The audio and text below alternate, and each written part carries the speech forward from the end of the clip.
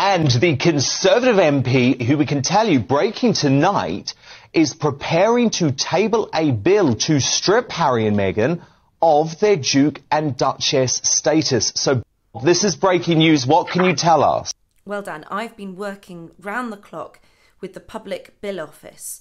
Uh, and we have found an obscure 1917 bill which stripped aristocrats and, and members of the royal family of their titles for siding with the Germans. So we're trying to add an amendment to that. So it's uh, members of the royal family who side with the Germans in World War One, um, and who make unpatriotic Netflix documentaries. You know, this is this is very very serious. And and can I just commend you, Dan, for treating this with the seriousness it deserves. It, it really is something that should be continually dominating our news at the moment. It's the most important story out there. Harry and Meghan are a national threat.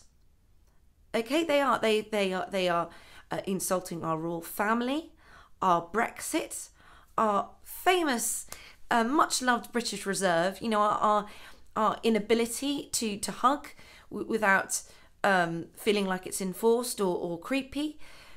You know, and they're calling us racist. I am very much looking forward to our upcoming panel debate on, you know, whether racism is, you know, whether racism is.